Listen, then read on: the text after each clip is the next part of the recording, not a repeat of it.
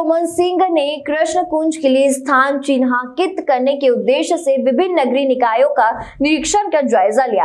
इस दौरान उन्होंने लवन कसडोल और टुड्रा नगर पहुंचकर फ्लैगशिप योजनाओं की भी जानकारी हासिल की। कलेक्टर ने लवन में तहसील कार्यालय में पहुंचकर रिकॉर्ड रूम सहित सुरक्षा संबंधित व्यवस्थाओं का जायजा लिया। इस दौरान वकीलों ने कलेक्टर से मुलाकात कर होने वाली समस्याओं के बारे में भी अवगत कराया। कलेक्टर ने जल्द ही समस्याओं को निराकरण करने का आश्वासन दिया। कलेक्टर ने लवन नगर में निर्माणाधीन तहसील कार्यालय में अभी बाउंड्री वॉल सहित वृक्षारोपण करने, धनवंतरी मेडिकल स्टोर के लिए नवीन जगह चिन्हांकित करने का निर्देश दिया।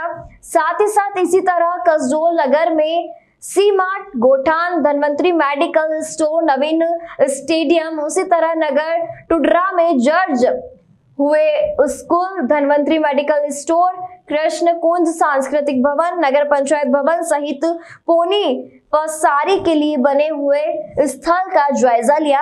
इस दौरान नगर पंचायत में उन्होंने नगर वासियों और पार्षदों से मुलाकात कर जल्द इस समस्या को निराकरण करने का आश्वासन दिया। गौरतलब है कि शहरी क्षेत्रों में कृष्ण कुंज नाम से वन विभाग ने गार्डन विकसित किया जाना है।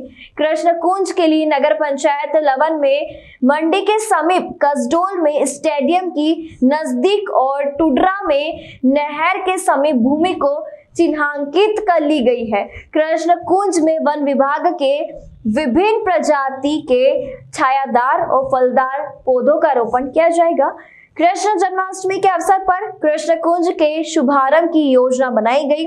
आपको बता दें कि इस मौके पर तहसीलदार नायब तहसीलदार सौरभ चौरसिया, निशा वर्मा, जनपद पंचायत सीईओ हिमांशु सहित नगरीय निकाय और राजस्व विभाग के अधिकारी कर्मचारी गण इस दौरान उपस्थित थे।